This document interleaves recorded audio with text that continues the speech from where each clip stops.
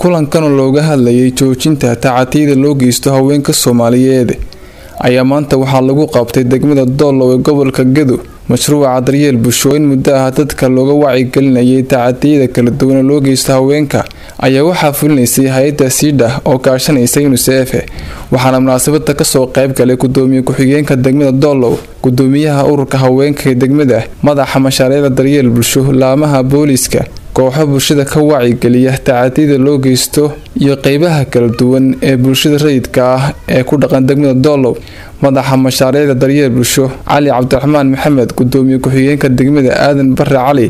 iyo qeybaha kala duwan ee bulshadii munaasabada ka soo qayb gashay ayaa goobta ka sheegay muhiimada ay haweenka u leeyihiin dadka soomaaliyeed islamarkaana looga baahan yahay in gebi ahaanba la joojiyo tacatiyada kala duwan ee loo geysto haweenka soomaaliyeed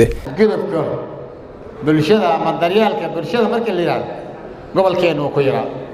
boqolkiiba boqol gobolkeennu uu ku yiraa waxaa jira gobollo badan oo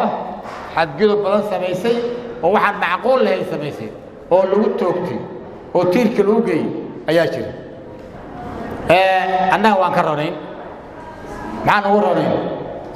toban jir la xoogi iyo afar jir la xoogi iyo lix jir la xoogi gobolkana weli soo mar waa ka xaaraanaya xataa xadgudubyada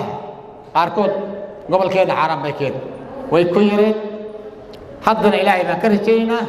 inuusa ilaahay noo keenin. Laakiin hadda waxaa la isku daray dhammaan ururadii bulshada booliistii waxgaradkii culummadii dhammaan waa la isku daray. Inay ka shaqeeyaan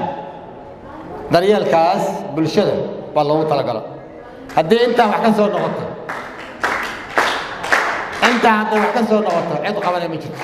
Waana u mahad celinayaa qoladii soo qalqaalisay oo muddo badan waday haddana xafladan soo keentay siida iyo unisef inyihiin baan jeclahay. Labada waa u mahad celinayaa. Ilaahay waa mahadle kiisaska hadda waxyaalaha aan ka hadlayno sida kufsiga gudniinka fircooniga oo dhiigbaxyada iyo dhibaatada iyo khatarta qaar geerida keento gabdhaha aan weli qaangaarka ahayn amaba aan u diyaarsanayn inay reer maamulaan oo weli aanan tabargelin oo weliba mas'uuliyaddooda buuxsamin waxyaalaha noocaas oo khatarta ka imaado oo deg deg ah sida gurka degdega ah waxaa habboon dee gabadha waa inay jaanis heshaa hadday qaangaar tahay xataa waa inay heshaa maskax ku filan oo reer ku maamuli karto. Qofku waa inuu dhinac walba ka dhisayo buuxsamo kufsiga dactiyada loo geysta ilmaha sida dilka waxyaalaha la midka ah carruurta qaarkood naafeeyo hooyooyinka waalidiinta ah oo raggooda inta isku dhacaan qaarkood naafeeyo baangad ku dhufto ama tareeg la dhaco madaxa jebiyo oo de hooyadii dhammayd oo ilmaha hayso wax barbaarinayso warshadda alxamdulilaahi rabbilcaalamiin waxaan haysanaa nabadgelyo aan aad aan iyo aad aan ugu faanno haddaan nahay reer doolow maadaama aan nabadgelyo haysanno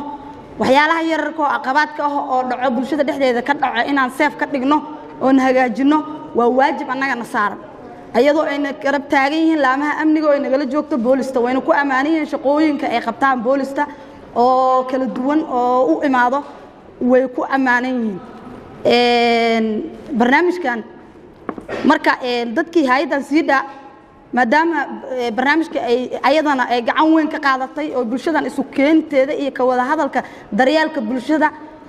ay naga saaciidaysay oo unisef ayadoo garab ka helayso waa ayadana way ku ammaanan tahay. Waa qaybta waa qaybaha kala duwan ee bulshada ayuu ka kooban yahay gruubyadan siddeedan gruub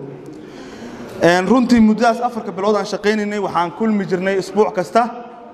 Laba mar ayaan kulmi jirnay isbuuc kasta waxaan kulmi jirnay laba mar oonan ka hadli jirnay waxyaalaha maaragtay wacyigelintan isaan u wajihi jirnay. Jadwal baan lahayn sidoo kale waxaan lahayn waxaan haysanay buugaag. Ay hay'adda siida noo keentay buugagtaas ayaan ka tixraaci jirnay shaqooyinka aan qabanayno. Sidoo kale waxyaalaha aan bulshada u gudbin jirnay oon ka hadli jirnay waxaa ka mid ah f g m-ka ama haddaan idhaahdo gudniinka fircooniga sidoo kale waxaan bulshada runtii kala hadli jirnay waxbarashada.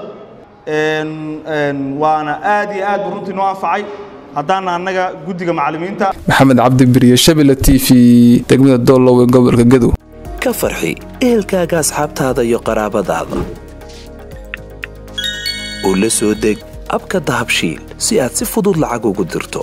Marka aad la soo degto ablicathonka dahabshiil ee aad lacag ka dirayso isticmaal koorka khadmad la'aanta ee tree free oo kuu sahlaya in saddexda jeer ee ugu horreeya ee aad lacag dirayso aan wax khidmad ah lagaa qaadin dahabshiil howlfudaydiyahaaga maaliyadeed